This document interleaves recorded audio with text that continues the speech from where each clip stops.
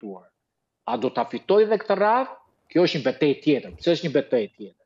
Sepse është futur në sfidë me Shtetet e Bashkuara të Amerikës dhe me prokurorinë. Pra vetë ai deklaroi, "Ty të ka thënë Amerika të më arrestosh, hajde më arresto", tha dhe i bëri sfidë edhe Amerikës, edhe prokurorisë.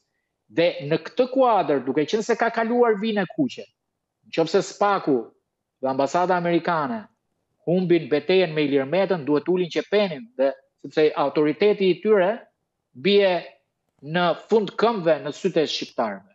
Unë nuk e besoj që uh, SPAK-u dhe Washingtoni do të humbin një betejë me uh, Ilir Metën. Sa larg do të shkojnë? Nuk jam nga ata që them mm -hmm. do arrestohet, Madje jam nga ata që them të kundërtën. Ashtu siç është çelur një praktikë penale me Sali Berishën, të cilit iu dha detyrim për paraqitje, dhe sot nëse nuk do ta kish thyer detyrimin për paraqitje, nuk do ishte në arrest shtëpie. Pra, prokuroria kërkoi detyrim për paraqitje për Po, po. Jemi qartë. Unë mendoj edhe për për kre, për kryemadhin apo për Ilir Metën, nuk do të kërkohet arrest në burg, do të kërkohet një masë më e lehtë për çështjet në të cilat ata do të vihen në akuzë apo mund të hetohen, do të jetë ndonjë detyrim për mm -hmm. paraqitje maksimumi ose në shtëpi asgjë më shumë.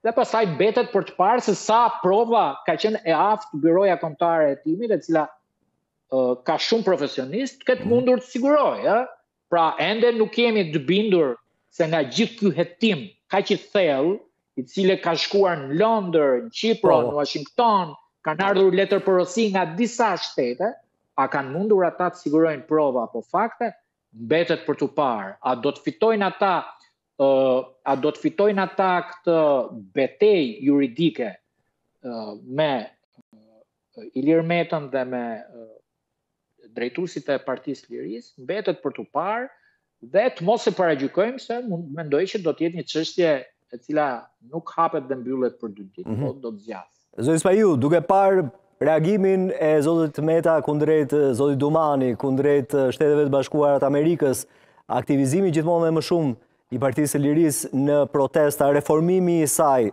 mund të themi se jemi në prag të një vendimi nga ana